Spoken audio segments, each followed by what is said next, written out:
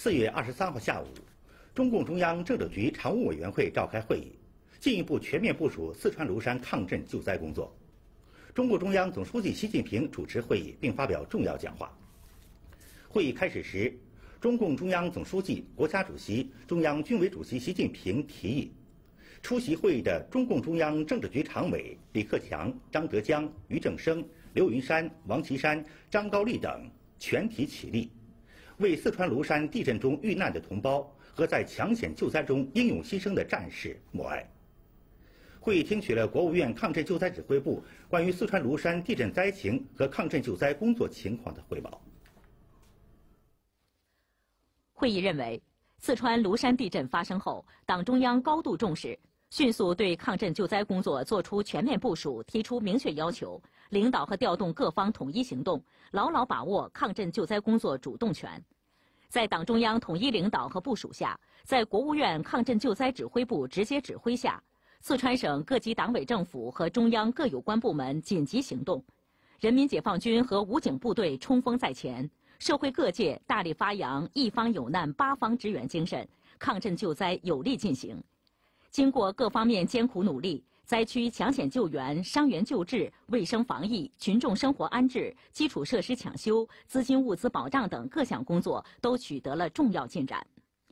会议强调。现在抗震救灾工作正处在关键时刻，要把抗震救灾作为当前一项十分重要而紧迫的工作，以更加有力的举措、更加科学的方法，坚决完成好抗震救灾这项重大任务，把灾害损失减少到最低程度。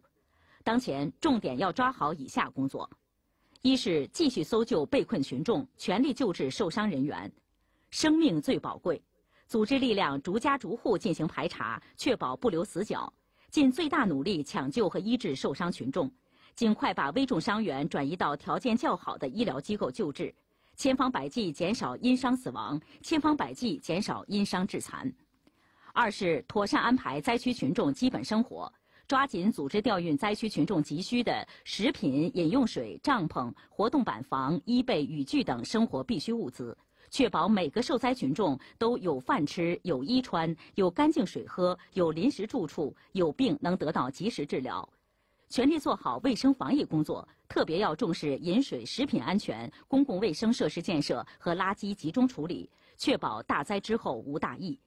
为灾区群众提供灾后心理援助服务，做好心理安抚工作，确保灾区人心安定、社会稳定。认真排查维修校舍或者搭建临时学校，在确保安全的前提下，帮助灾区学生尽快复课。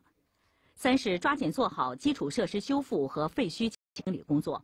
做好基础设施修复工作，确保灾区用水、用电、用油、用气供应，确保通信联络畅通。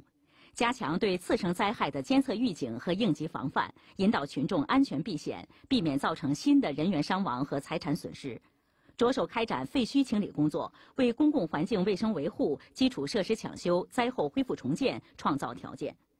四是做好恢复生产和灾后重建工作，及时调查了解工农业生产受灾情况，研究制定促进恢复生产的政策措施，同时引导灾区群众自力更生、生产自救，尽可能减少损失，科学编制重建规划，帮助受灾群众尽快重建家园。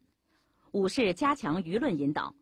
统筹协调好新闻宣传报道工作，及时、准确、客观发布震情灾情和抗震救灾工作进展情况，宣传普及救援救助、医疗救治、卫生防疫等方面的科学知识，及时发布气象、地质灾害预警，为群众安全避险提供服务性信息。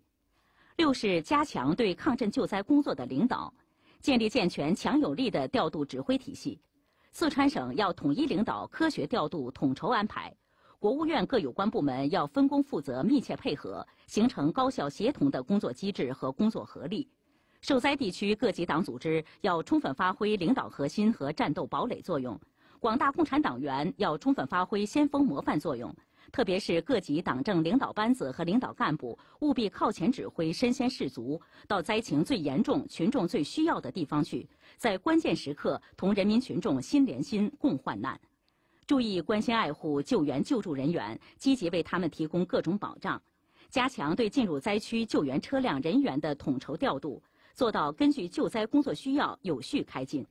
加强对中央抗震救灾决策部署落实情况的检查，搞好救灾资金和物资的管理监督。会议强调，军队和武警部队要发扬我军不怕疲劳、连续作战的顽强作风，保持旺盛斗志和持续战斗力。按照中央统一部署，继续当好突击队，继续搜救被困群众，充分发挥军队医疗专业力量作用，协助安置群众，积极参加相关专业救援，协同开展卫生防疫。会议指出，我们的前进道路不可能一帆风顺，一定会遇到这样那样的风险和挑战。我们要居安思危，增强忧患意识，随时准备迎接各种困难和风险。只要我们有准备、团结一心、共同应对，就完全能够从容应对征途上的各种复杂局面，战胜各种可能出现的艰难险阻。